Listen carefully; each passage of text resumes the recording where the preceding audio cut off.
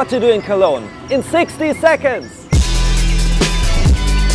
Here it's all about the dome. Impressive from the inside and from the outside. It just never fits in one photo. Go up the dome just once in a lifetime. And from up here it's a gorgeous view too. Also holy, their River Rhine.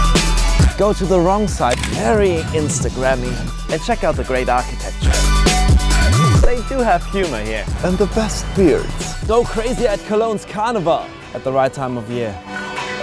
Start your night on the little wall and visit a traditional brewery.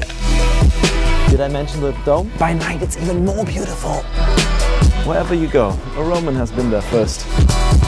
Enjoy some classical entertainment and challenge a local in football. Not all heroes wear capes, and they are born in the unlikeliest places. Be a chocolate tester and show the world that your love is special. And did I mention the dome?